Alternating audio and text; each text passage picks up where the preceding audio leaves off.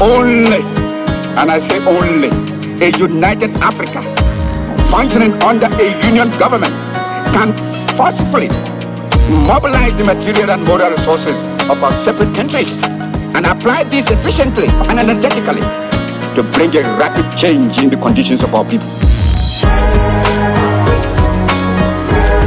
We've got to unite